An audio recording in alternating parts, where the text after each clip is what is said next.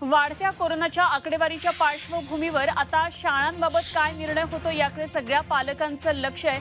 शाळांबाबत SOP तयार करणार असल्याचं वर्षा गायकवाड शिक्षण मंत्री वर्षा गायकवाड यांनी सांगितले विद्यार्थ्यांचं नुकसान होऊ देणार नाही असं वर्षा गायकवाड यांनी ग्वाही दिली आहे काळजी घेऊन शाळा सुरू करणार असल्याचं त्यांनी सांगितलंय.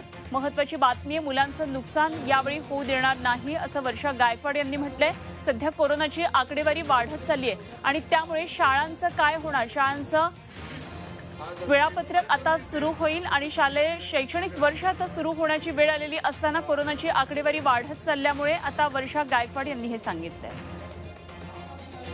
मागच्या काळात आम्ही ज्या एस ओ पीज तयार केल्या किंवा आताही आम्ही ज्या विचार करतो की जे नंबर वाढतात त्यामुळे वेळेला आरोग्य विभागाचा सुद्धा त्यामध्ये ओपिनियन घेतला जाईल आणि एक चर्चा करूनच त्या ठिकाणी जे आहे ते शाळा सुरू करताना निर्णय घेतला जाईल. पण तो शाळा सुरू करणं ही पण काळाची गरज आहे कारण दोन वर्षापासून आपल्याला माहिती आहे की मुलांचं खूप मोठ्या प्रमाणामध्ये शैक्षणिक त्यांना जे आहे ते आपण माहिती आहे की मुलांचं थोड्या प्रमाणात का होईना नुकसान झालेलं आहे. आणि म्हणून आपल्या सर्वांची एक जबाबदारी आहे की आपल्या विद्यार्थ्याचं